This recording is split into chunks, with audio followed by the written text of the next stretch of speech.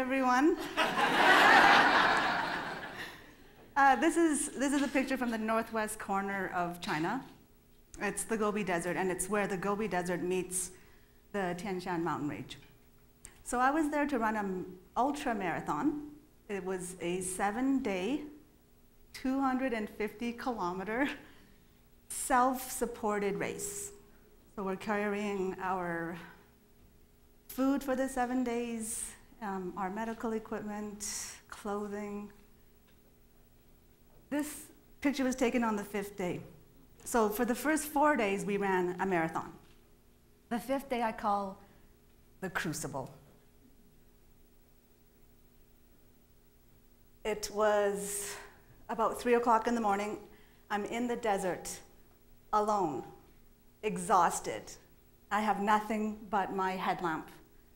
And I, I'm scanning in front of me for the pink flags too that mark the trail, and I see this. And I'd like to say that I was brave. And I'd like to say that I didn't pee myself a little. but that would be a lie. And all of it is true. It, it, when, you, when you're faced with imminent death, you really do think of your family. And that's where my mind went. So, can you guess which one I am? I, I think they're all cute. so that's me. And so that is, that is the last time I will rock bangs and a white pantsuit. I have never achieved that fashion look since. So this is a picture of my family. Um, we were born in Vietnam, all of us, and we were, as the intro said, part of the boat people. And it was, I was born December 74, and five months later was the fall of Saigon. So the, the war ended shortly after I was born. My parents made the decision to leave. This is a picture of us at the refugee camp, and this picture is so dear to me because it's one of the few things that we have from that time. And um, the story that my parents continually shared with us, the story of risking everything and embarking on a harrowing journey and going into the great unknown, but with a, hope, with a strong, with a hope that's stronger than fear. So my family was sponsored to a little town called Brooks. Uh, we arrived in Brooks January of 1980. And as you can imagine, the weather at that time, it was quite shocking. but this is where I grew up, and this is where, this is where there's a huge paradox in the narrative of my family and my narrative. Because although that, that refugee photo is, is really dear to me, I actually don't have memories of that time. And the narrative that I'm told is my parents' narrative. So I grew up in this, in this calmness, in this place of safety and comfort. But the safety didn't feel comfortable because there was something in my soul that was yearning for something harder, yearning for a struggle. So I picked the thing that I hated most.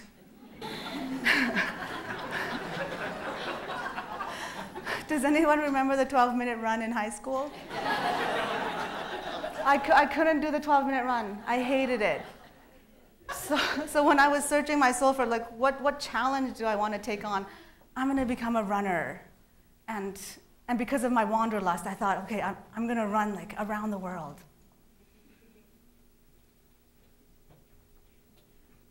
What do these four people have in common? They're all, they're all marathon runners, and they're all faster than me.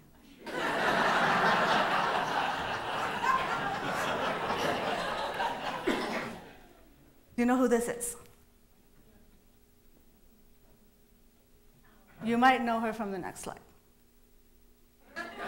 So the reason why I put up this picture is because Pamela Anderson and I have the same marathon finishing time. So, but, but think about what that means. Essentially, I run as fast as someone whose entire career was spent running slow motion in sand.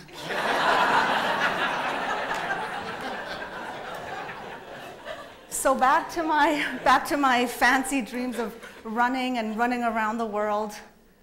I truly believe that the universe conspires to help the dreamer. I believe that if you authentically ask the universe what's your, your soul's desires, it will send things into your life to help you get there. So, I found a writing contest online. It was put on by CBC, and it was a nationwide writing contest. They wanted you to submit an essay about where you wanted to go and why. So I wrote about, um, I thought it'd be neat, neat to do the Antarctic Marathon, because I thought travel, running, what a great idea. and, and so I won. I won the contest, and they sponsored me to go run this race in Antarctica. And the feeling of elation of winning the contest was short lived because, because of the sinking feeling of that I would have to run a marathon in Antarctica. So, and it was around that time too that I don't know if you remember Mark's Work Wearhouse used to look like this. And then it rebranded and it looked like this. But in that process, they were having a contest. and it was through Virgin Radio and Mark's Work Wearhouse, and they were trying to find Calgary's most remarkable person. And they were going to choose seven people and fund them to help pursue their dreams. I asked my brother if he would nominate me. And he said, I'm a terrible writer. And I said, It's okay. I'll write the nomination in your voice as long as you email it in. He's like, No problem. so I won. and the radio guy actually said, Your brother is, he loves you. He said the nicest things about you. So this is Antarctica. So that was in December of 2011. I finished miraculously. So, but remember, I couldn't do the 12 minute run. And when the results came out, I was a top 10 finisher. okay, okay, okay. But only because there were only nine women. So if you look at the times, you'll realize that Yvonne Brown crossed the finish line. She probably went back to her tent. And if she had a copy of the Titanic, she could have watched it, finished the whole movie, and then I would have crossed the line three hours later. But no matter, I was a top 10 finisher. So I ran at the bottom. Logically, what do you do after that? Right? So then I decided I wanted to run at the North Pole. In my dream, the angel shrugged and said, If we fail this time, it will be a failure of imagination. And then she placed the world gently in the palm of my hand. So when I came back, I'm a teacher, and although we make a great living, it's, we can't afford to do these really costly runs. The, re the registration fees are exorbitant. But I had this idea that I would win a contest.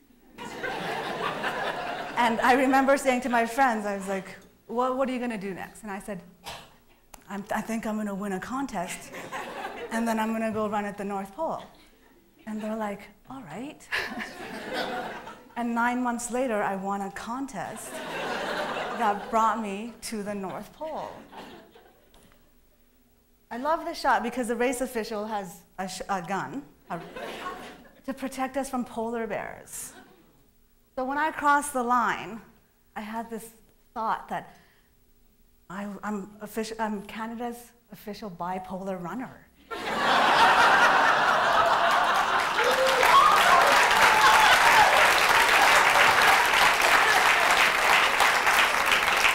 I, I mean no disrespect to mental illness, but so, lucky me, there were only five women.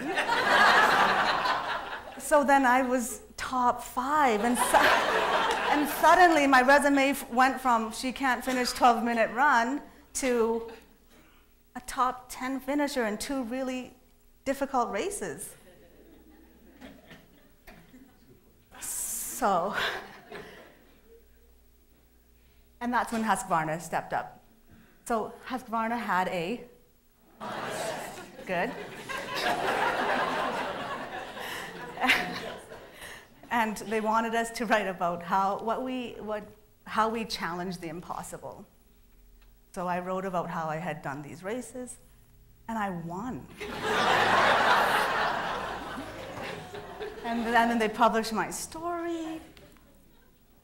And so with that money, I was able to sue, pursue my next goal, which was the four deserts. And it's, like I said, the seven day, 250 kilometer self supported races in four hot deserts of the world. If you complete those, you go back. Well, I was going to go back to Antarctica to the last desert. If, you, if you're going through hell, keep going. So before I left for, for these races, I was reading all the literature I could find, and all the literature will tell you the same thing. It's brutal, don't do it. People have died, people have been hospitalized. And I just thought, I'm not going to take someone's opinion as my own experience. I wanted to unfold my own myth, and I wanted to live this experience. And, and would you believe me if I said that it wasn't hell? it was actually stunning, and that every day that I was out there was magical. Stunning scenery and sunshine and fresh air and exercise with like minded people. A really supportive medical team. and most importantly, after a long day, every night I got to go to bed with these men. Sign me up, right? and now to this company near and dear my heart. So Husqvarna had helped me with a bit of the four deserts, and then duct tape stepped up, and they had a contest, and it was a writing contest, and it was the question was how did duct tape save the day? So I had a story about how I used it to tape my goggles in Antarctica so that I wouldn't get snowblind. And they liked it so much that they asked me if I had anything else planned for the year, and I told them about the four deserts. And they said, write up a proposal. So in my proposal, um, I outlined the costs and everything, and, and then at, at, at, the bottom of it, I put, you know, I'm, I'm just an, an ordinary runner, but I promise you, like duct tape, I will always stick to it. I will never give up and they liked it. So they, they backed me to do these races. And in exchange, I had to do articles about how duct tape was used in the desert. And the story practically wrote itself because it, it is one of the most useful things that you can have in your backpack. So this is the third desert race. It was in northern Chile, um, in Atacama. This was 55 kilometers into an 80 kilometer day.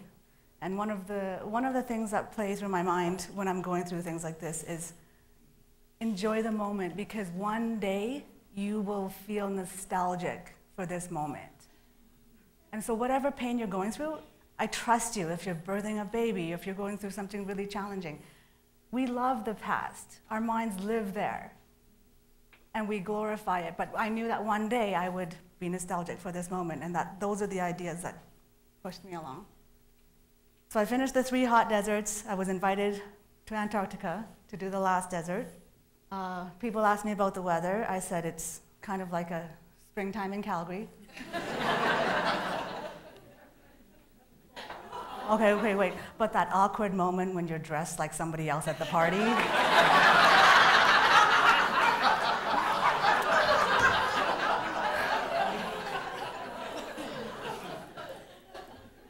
And this picture, because like any vain female, I want to protect my face. The hands I can lose to frostbite, but not the face, right? and so with this, I became the first Canadian woman to complete the Four Desert series. And because I did it in one calendar year, it was considered a grand slam. making me the eighth woman in history to do so.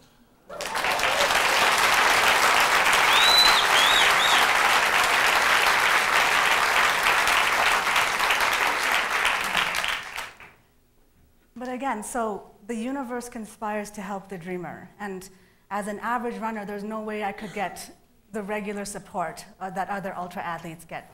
So I got the support of these companies, and this, this is not, these are not companies traditionally associated with running. It's more like, because like maybe if I was a lumberjack or something.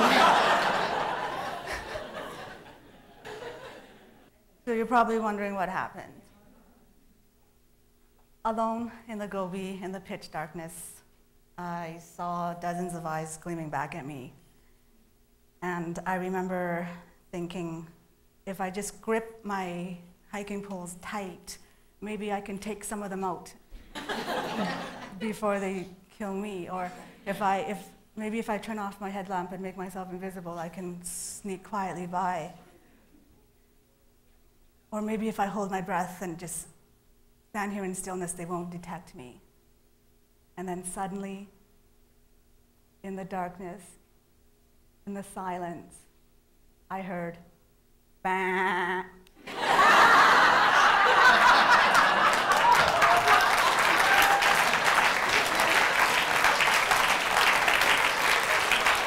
so really, all that peeing for nothing.